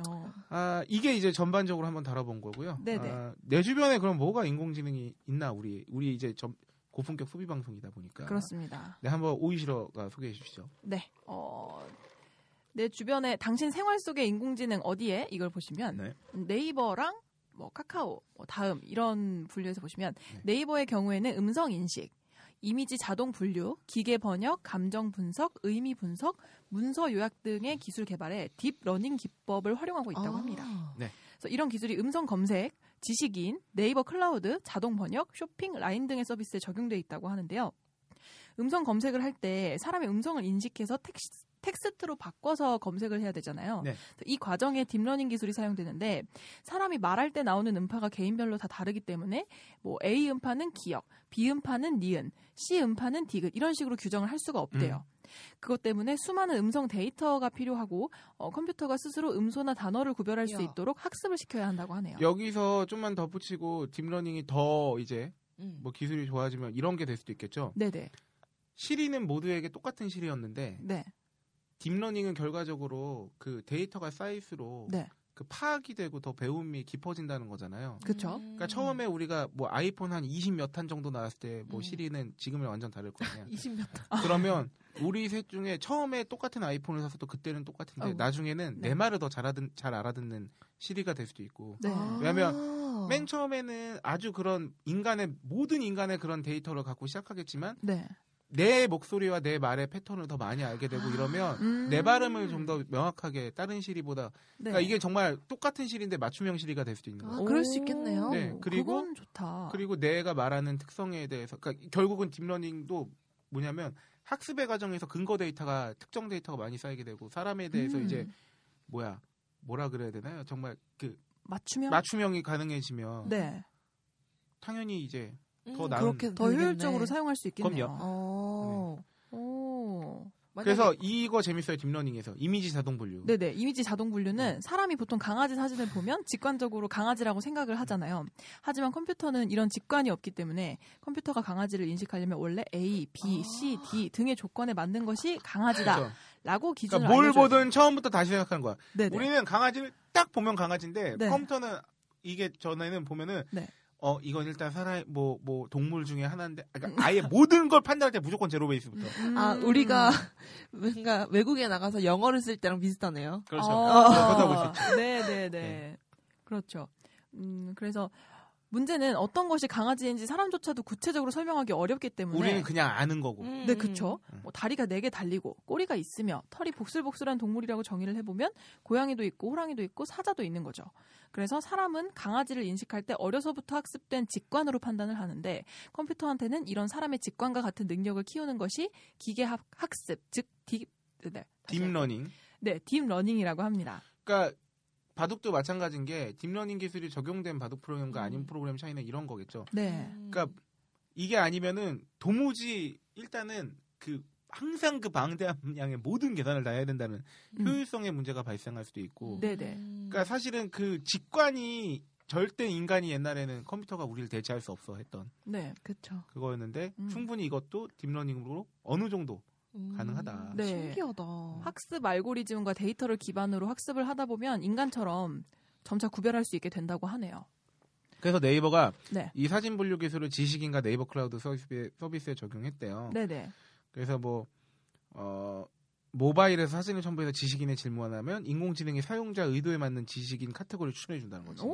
근데 네이버 클라우드에 사진을 저장하면 사진 이미지를 인식해서 카테고리별로 자동으로 정리해 주고. 음. 그러니까 이런 정리해 주고 분류해 주는 거는 어느 정도 뭐 deep learning, deep learning 혹은 뭐그 기술 개발이 돼 있지 않으면 되게 어려운 영역의 문제잖아요. 네. 그러니까 사실은 그 분류도 사실 직관의 영역이 되게 중요하거든. 네. 그렇죠. 뭐 기계 번역에도 적용돼 있고 막 이렇게 내용이 나와 있는데 사실 네. 어, 국내 기사다 보니까 네이버나 카카오 서비스에서 이런 걸 많이 추리는데 네네. 사실, 이 구글이- 분야에서는 뭐 거의 구글이나 그쵸. 페이스북 이런 번역도 뭐. 쪽이 네. 뭐 거의 말도 안 되게 상대가 안 되는데 네. 그래서 그 우리 도울 선생님이 아, 한번 해주시죠. 아 한번 아 이거 너무 어려워서 아 그런가요? 그, 네. 그런 얘기도 했었어요 저희 JTBC 인터뷰에 나와서 네. 이거는 사실 그 어떤 기술 발전 내지는 이런 데이터의 네. 자본 권력의 어, 침략이다. 음. 그러니까 좀 음. 격하게 표현을 하자 하다 보면 음. 어, 구글이 굉장한 권력화를 될, 가될 가능성이 크죠. 그러네요. 제일 그- 크니까 일단. 제일 크고 그리고 얘들은 이미 빅데이터 네. 확보도 그렇고 그쵸. 거의 이제 나중에 지금도 마찬가지인 것 같긴 한데 네. 손바닥 위에 올려놓고 지금 사는 거예요. 그러니까요. 여기 지금 구글 헬스도 원래 얘기 예전부터 계속 많이 나왔었잖아요. 구글 헬스. 헬스? 예, 예, 그런 그런 쪽 이제 건강이나 이런 쪽 관련해서도 네. 그 이제 맞춤형으로 오. 그러니까 이게 그 거의 인간의 생활을 다 이제 네. 이게 되게 편할 거예요 아마 이게 사람이 사용할 데 음. 있어서는 음. 근데 되게 편한데 제가 늘 말씀드린 거지만 네. 어, 편한 건 편한 만큼 위험도가 따르거든요. 그렇죠. 맞아. 네. 그왜 아이폰에 보면은 기본적으로 어플 걷기 어플 그거 있잖아요. 네네. 걷기 측정되는 건강 어플. 이거를 갑자기 그게 생각나는데 한 번 의식하니까 계속 네. 이걸 보고 뭔가 내 음. 자신을 제어하려고 하고 약간 어. 이런 거에서 예. 그게 공감이 됐네요. 그리고 뭔가 무인 자동차 이런 거는 저는 앞으로도 계속 무서울 것 같아요. 고장 나면은 음. 네, 어떻게 아 근데? 나는 네. 별다른 게 아니라 그냥 기본적으로 소름 끼치는 게 네. 내가 아닌 누군가가 음. 내가 그- 나의 하루 일상과 모든 심지어 나의 검색한 내용과 음. 사실 검색한 내용만 다 알고 돌아다니는 것만 알고 네. 뭐 위치 내지는 생활 패턴이나 이런 것만 다 분석돼도 사실 내 생각을 다 들키고 사는 거나 마찬가지예요. 그렇죠. 애지간해서는 음. 나는 좀 소름 돋- 그런 게 소름 돋아요. 나에 대해서 네. 나보다 더 잘 알고 있는 누군가가 있어. 음. 근데 걔는 나뿐만 아니라 아니야. 모두에 대해서 다 알고 있어. 그 음. 어떤 특정 뭐 집단이 됐든 회사가 됐든 뭐 이러다 나중에 인공지능이 프로파일링까지 하겠는데요. 가능하죠. 그러니까요. 가능하다고 봐야죠. 음. 네. 어 근데 이것 좀 재밌네요. 카카오 이미지 썸네일 추출할 때도 네. 인공지능 기능 지능 기술이 사용되는지 몰랐어요. 어 그래요? 그러니까 왜 썸네일에 네. 보면은 사진이 다가 아니라 어느 부분에 초점이 맞춰서 이렇게 동그라미가 네네. 되잖아요. 근데 네. 이거에 인공지능이 사용이 된대요. 아 그래서 사진의 경우에 음. 사람이 들어가 있는 사진은 얼굴이 어디에 있는지 사람은 음. 몇 명이 있는지를 계산하고 그 위치를 파악해서 추출한다고 하는데 제 푸사는 지금 눈이 잘려 있는데 얼굴 같지 않나? 안 아직은 나왔나 미비한 걸로. 봐. 그렇군요. 그 인터넷업계 한 관계자는 국내 포털 업체들도 몇 년 전부터 기계학습 등 인공지능 기술을 연구해 왔다고 하면서 네. 아직 알파고 수준에는 미치지 못하지만 다양한 분야에 활용될 수 있을 것. 음. 아 이게 너무 이제 뭐 알파고라는 또 이름에만. 또 이게 초점이 계속 활용되고? 있네요. 예. 구글은 사실 그걸로 끝난 거죠. 그렇죠. 그거를 사람들 뇌리에 박아준 것만으로도 그러니까. 엄청난 홍보 네. 효과. 게임 업계에도 어, 인공지능 기술이 어, 서비스를 이제 대두되고 있다고 하는데 네. 아 뭐 넷마블, NC소프트, 넥슨 등 인공지능 기술을 통해 게임의 재미와 편리성, 가치 있는 상품과 서비스를 이용자들에게 전달하고 있는 네네. 그래서 게임에서 가장 흔히 볼 수 있는 인공지능이 그죠 NPC죠. 그러니까요. 아 이게 인공지능 그렇구나. NPC가 논 플레이어 캐릭터의 네. 약자인데 음. 어, 얘들은 그냥 굳이 따지면 게임 내에 있는 로봇 같은 존재들이잖아요. 네네네네. 그쵸? 사람이 조종하는 애들이 아닌 네.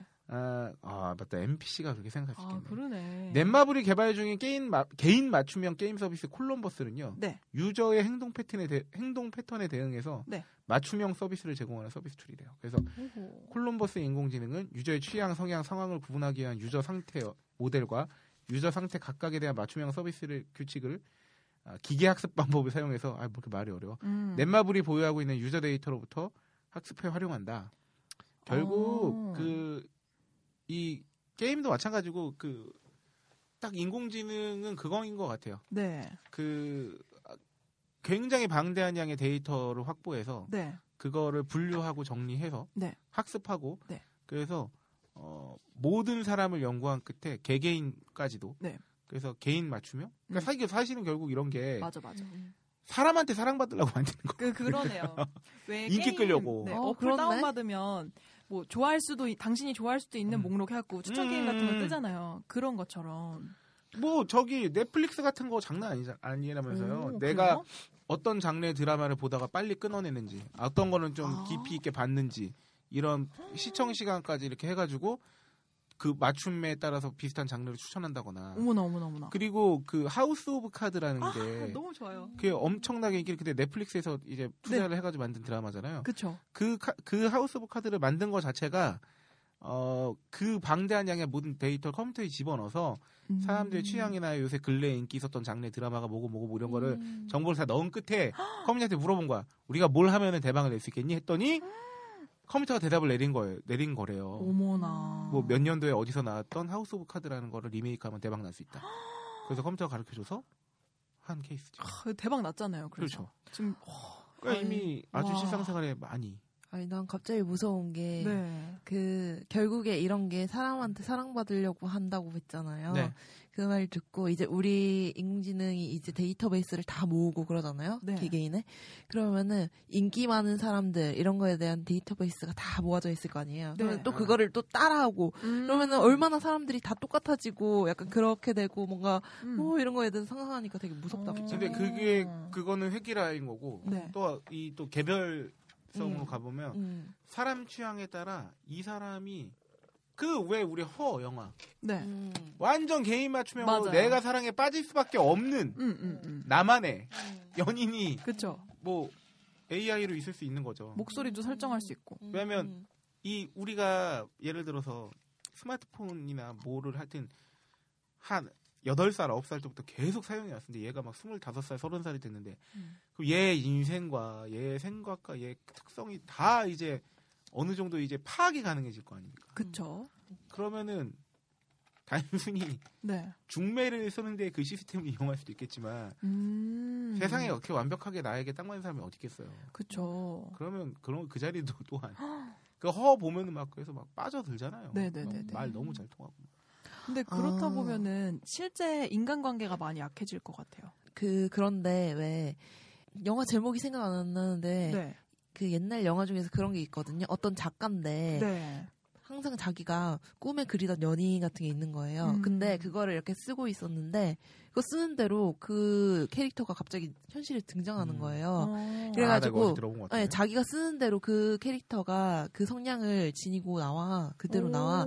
근데 왜 보통 사람들은 그러니까 상반된 걸 원하잖아요. 네. 예를 들면은 어 이 사람이 뭐 활달하고 성격을 활달하고 그랬으면 뭐 그랬으면 좋겠어 하면서도 어 나만을 바라보길 원하고 그러는데 그게 네. 사실 보면은 모순되는 점들이잖아요. 네, 네, 네, 그쵸. 그래가지고 그 캐릭터가 자기가 쓴 대로 처음에는 하- 하지만 다른 면으로 계속 흘러가는 거예요. 음. 그래서 계속 수정하고 수정하고 그렇게 되는 면들이 나타나는데 갑자기 이 이야기를 왜, 나- 왜 하게 됐죠? 글쎄요. 허, 허생이라는 어. 거 아니에요? 어, 영화 때문에? 네. 음, 그렇구나. 결국에 자기한테 딱 맞는 건 없, 없죠. 없다. 아, 예. 그쵸. 왜냐면 왜냐면 어. 자기가 변하기 때문에. 맞다. 그러니까 결국은 진짜. 작용과 반작용의 연속인데 음. 내가 어떻게 작용했을 때 어떤 반작용이 올지 나도 모른다고. 네. 음. 내가 지금 현 시점에 나한테 완전히 맞춰주는 누군가가 있었다고 했을 때 음, 음. 결국은 상대가 더 이상 아이 씨발 더 이상 못 맞추게 살 수도 있는 거지만 네. 그런 게 충족되고 나면 또 다른 결핍이 생길 거란 말이에요. 음. 그럼 나는 또 그 반작용에 대한 또 다른 반작용을 하게 돼요. 음, 음. 맞아요. 그러니까 사실은 그 상태에서 얼마나 많이 맞느냐는 생각보다 별로 중요하지 않을 수도 있는 거거든요. 음. 그런 게 있겠죠. 네. 네, 다음으로는 대기업들이 이제 머리를 맞대고 인공지능 연구하기로 했다는 이제야. 기사. 아, 아니 뭐 이제야. 각자 내가 볼 때 아니야 이제야 아니야 대기업들은 각자 하고 있었는데 아 그런가요? 정부에서 네. 이제 이걸 통해서 뭔가 이제 액션을 취해야 되잖아. 네. 그러면 이 대기업에서는 아직도 우리나라 는 뭐가 있냐면 나라에서 뭘 하라 그러면 대충 발음 맞춰줘야 돼. 음, 나를 음, 귀찮게 안 할 거란 말이야. 음. 그래서 아 그래서 얼마씩 이제 각출해서 네. 하는? 신용을 내는 거지. 음. 아, 물론 무조건 그럴 거라는 건 아닙니다. 네. 아닙니다. 어, 인공지능 기술 연구하는 민간 연구소가 이르면 올해 상반기에 설립된다고 하는 기사가 나왔었잖아요. 네. 신속한 의사결정과 성과 창출을 위해서는 정부 주도보다 민간 기업 형태가 더 적합하다고 판단해서 민간 연구소를 만들었는데 어, 그거를 정부 주도로 하는 거죠.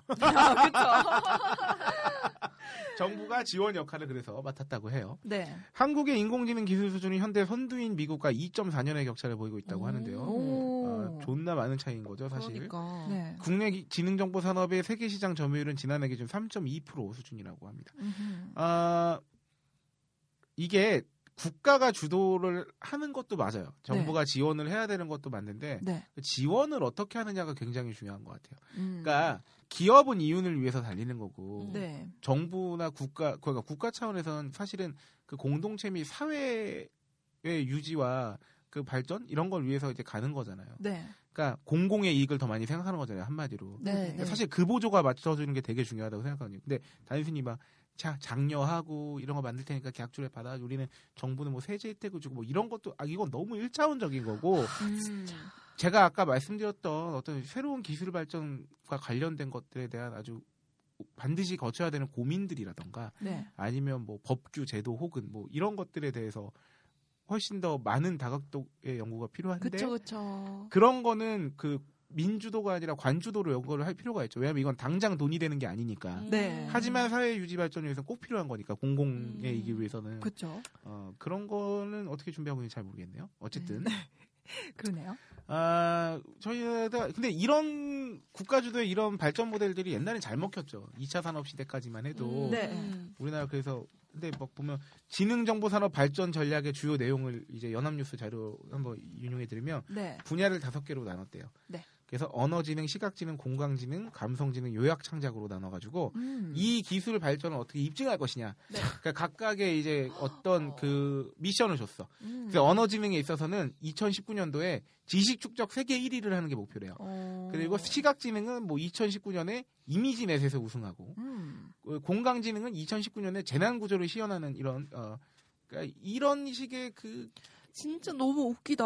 아니 감성지능은 감성 대회 시연인데 네. 가- 아 감성 대화예요? 대화 대화. 대화구나. 근데 네. 뭐뭘 기준으로 감성적이야? 이걸 어떻게 아, 판, 아니 판단하는 뭐 거죠? 이게 그러니까 무턱대고 까는 것도 나쁘지만 네.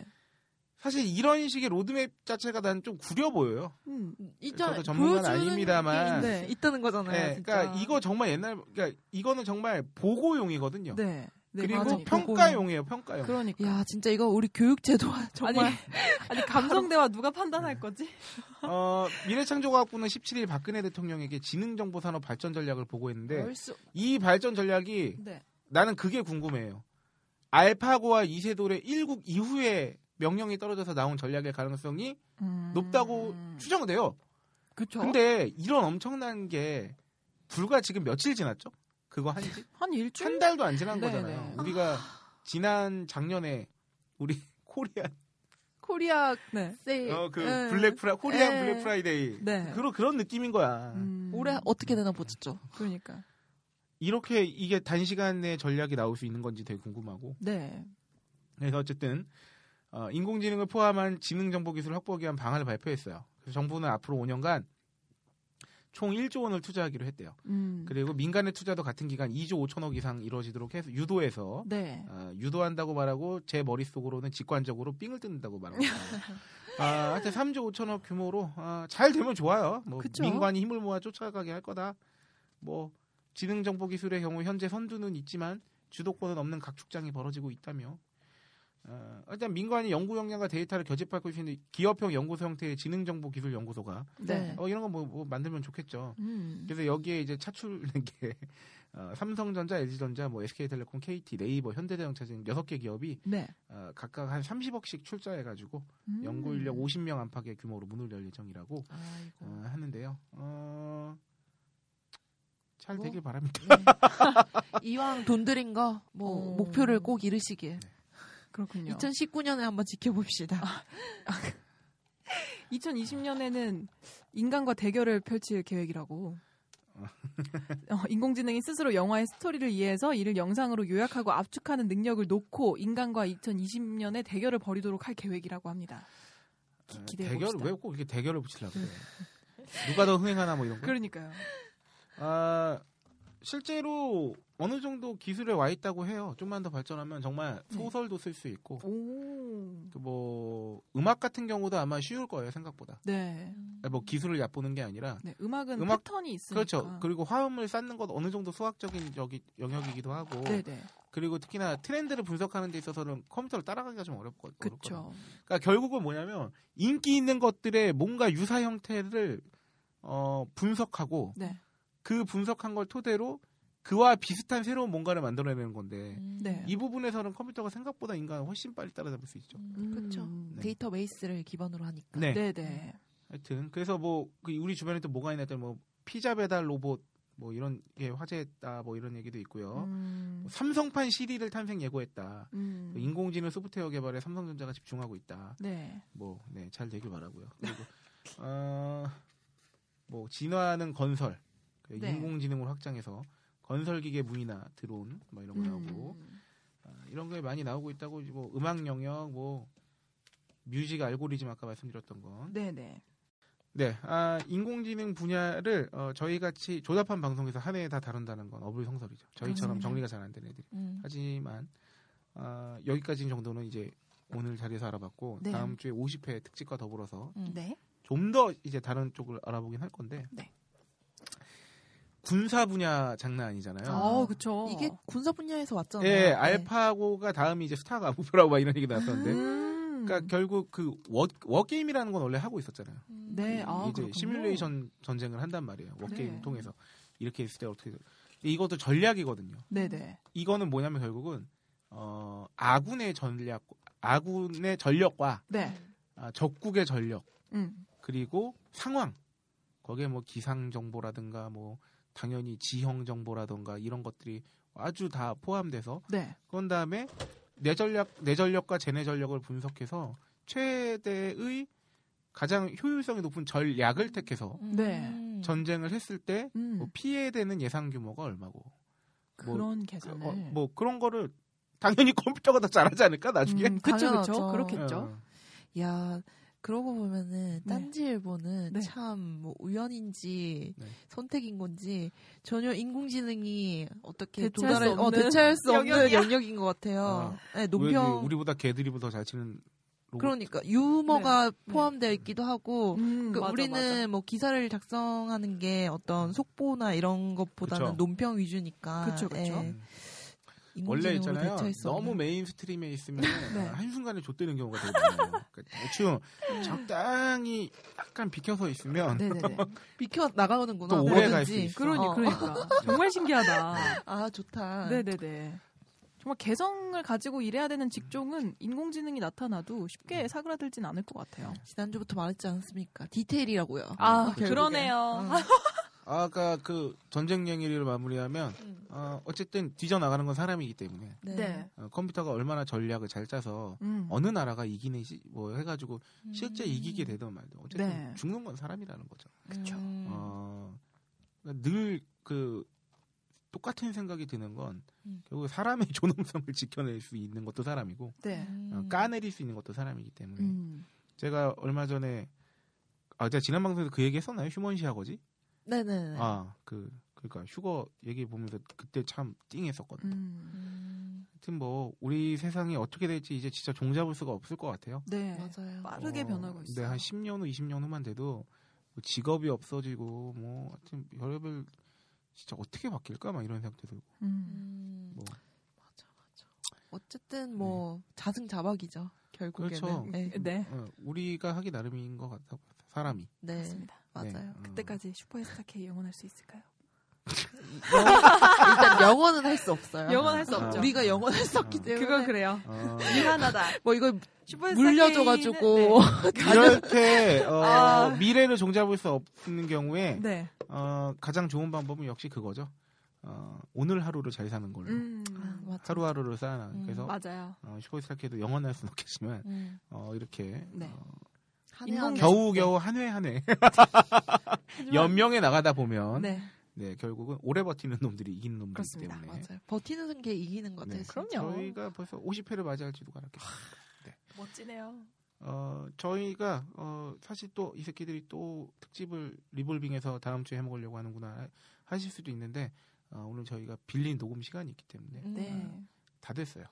나가야 돼요. 그래서 어, 인공지능은 여러분들의 반응을 좀 살펴봐서 네. 더 궁금해하시면 더 다루고 딱 이렇게 보고 저희도 아니면 바로 데이터를 이제 한번 네. 모아보고 네 그렇죠. 네네. 여러분들의 빅데이터가 필요합니다. 네. 어, 여러분의- 많은 청취 후기 부탁드립니다. 네. 어, 오늘의 마지막 인사는 뭐야 그 시선. 아, 네 누가 드리는 게 좋을까요? 어, 인공지능 특집이니까 네. 아 이렇게 합시다. 각자 성대모사 한 명씩 잡아서 성대모사 끝 인사 하는 걸로. 아니, 홀짝 기자님이 하고 싶구만. 아니 아니 아니 아니야. 이미 언 이미 언니는 있잖아요. 아 나만 나만 당할 순 없어. 이 신발 인공지능 되는 겁니까? 에 인가 인공지능 지랄이야. 이거. 아 이거 안 되는데. 아, 나 조울 선이 연습 더 해야 되는데. 어, 저뭐 진짜 스컬리 해요? 자 싶은 거예요. 망한 것 같아요. 네. 망한 것 같아요. 각자 자기 목소리로 네. 네. 인사드리겠습니다. 아, 네. 슈퍼스타 K 다음 50회로 네. 다시 아, 찾아뵙겠습니다. 오랜만에 아, 여러분 잘 사요를 아, 박세롬이가 하고 네. 끝내도록 하겠습니다. 여러분 잘 사요. 아우. 이렇게 어. 실패. 역시. 야 다음 주에 남자 한 분 여자 한 분 모셔서 해볼까? 어, 그럴까요? 음. 스탑. 아, 그때는 딴지일보가 지금과는 많이 달랐습니다. 들어가자마자 엉덩이 그림을 보여주는 곳이었죠. 똥꼬 깊숙이를 눌러야 입장할 수 있었는데 그게 얼마나 민망했던지. 여자라도 예외 없이 깊숙이를 봐야 했어요. 만약 예외가 있었다면 깊숙이란 말이 지금처럼 유명해지지 않았을 거예요. 벙커 깊숙이라 똥꼬 깊숙이로 유명했던 딴지일보가 이제 사보를 만들 정도가 되었다니. 아, 세상 참. 똥꼬만 깊숙한 줄 알았는데 펑커도 깊숙했네요. 딴지일보와 벙커원이 만드는 세계 최초 유료 사보 벙커 깊숙이 정말 재밌어서 외부인도 구입할 수 있게 했습니다. 딴지마켓과 벙커원 딴지 카페에서 바로 구매하실 수 있습니다.